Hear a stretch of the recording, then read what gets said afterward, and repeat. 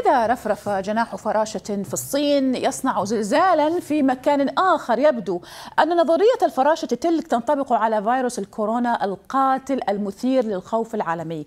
من عدم السيطرة عليه الفيروس وسع من رقعة انتشاره على الخريطة الدولية موقعا المزيد ضحايا له. لكن ما هو الوضع في منطقتنا؟ أعلنت وزارة الصحة الإماراتية اليوم عن تشخيص حالة إصابة بفيروس كورونا لأشخاص من عائلة واحدة قادمين من مدينة ووهان الصينية مركز انتشار الفيروس وجاء في بيان الوزارة. اتخذت الوزارة الإجراءات الاحترازية الضرورية اللازمة وفقا للتوصيات العلمية والشروط والمعايير المعتمدة من قبل المنظمة منظمة الصحة العالمية والوضع الصحي العام لا يدعو للقلق. كذلك أعلن وزير الصحة السوداني أكرم التوم عن الاشتباه بحالتي إصابة بفيروس كورونا في البلاد بعد قدومهما من الصين لتصبح السودان ثاني دولة عربية تعلن رسميا عن حالات إصابة. من جانب آخر ما زال العالقون في ووهان يشغلون الرأي العام في بعض دول المنطقة مثل مصر المغرب تونس والعراق والأردن الذين ينتظرون سلطات دولهم والسلطات الصينية في توضيح وضعهم ومتى سيذهبون أو سينقلون إلى دولهم.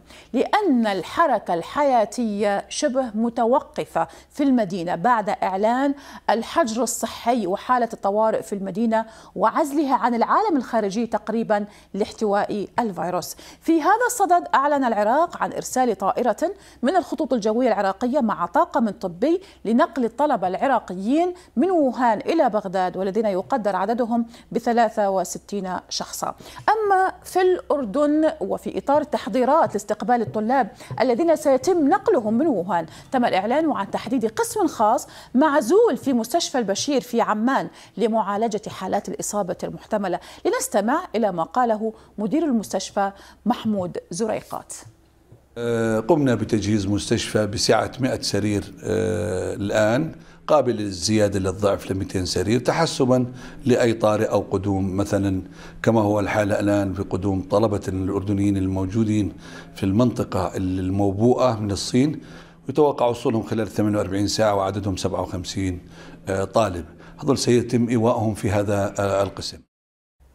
في مصر تداول الناس صورة لطالب من الأقصر وقيل أنه توفي في ووهان بسبب فيروس كورونا. لكن السفير المصري في الصين أسامة المجدوب نفى ذلك وقال للإعلام المحلي دعونا نظهر لكم مشاهدينا ما قاله السفير المصري. يقول ردا أجريت عدة اتصالات مع المسؤولين في العاصمة بكين ويستمر سفير مصر لدى الصين للتأكد من أنباء وفاة مواطن مصري في الصين جراء إصابته بفيروس كورونا الجديد. الاتصالات أكدت عدم صحة وفاة أي شخص من البعثة المصرية في مدينة ووهان. أما في الصين التي تتعاون مع منظمة الصحة العالمية للتوصل إلى داء للفيروس فقد أعلنت السلطات الصحية هناك أن عدد الوفيات بسبب الفيروس فيروس كورونا طبعا وصل إلى 132 شخصا بينما وصل عدد المصابين إلى نحو